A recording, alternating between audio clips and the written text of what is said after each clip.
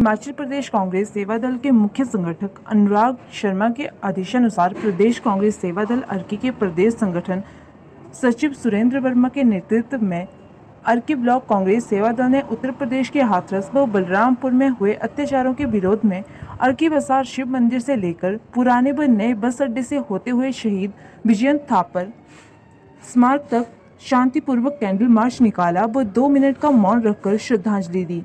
एक प्रेस विज्ञप्ति के माध्यम से जानकारी देते हुए मीडिया कोऑर्डिनेटर सुमित शर्मा ने बताया कि वर्मा ने कहा कि जिस तरह से उत्तर प्रदेश में आए दिन बलात्कार की घटनाएँ हो रही हैं, वो भाजपा शासित उत्तर प्रदेश की योगी सरकार की नाकामियों को दर्शाती है। उन्होंने कहा कि उत्तर प्रदेश में कानून व्यवस्था चरमरा चुकी है तथा पूरे देश में दादागिरी का माहौल बनाया जा रहा है। जिस तरह से आधी रात को हाथरस व भारत की बेटी का अंतिम संस्कार किया गया वह निंदनीय है। कांग्रेस सेवा दल इसका पुरजोर विरोध करता है। वो उत्तर प्रदेश व केंद्र सरकार से मांग करता है कि पीड़िता को जल्द से जल्द न्याय मिले व दोषियों को फांसी की सजा दी जाए। आपका फैसला, ब्यूरो रिपोर्ट।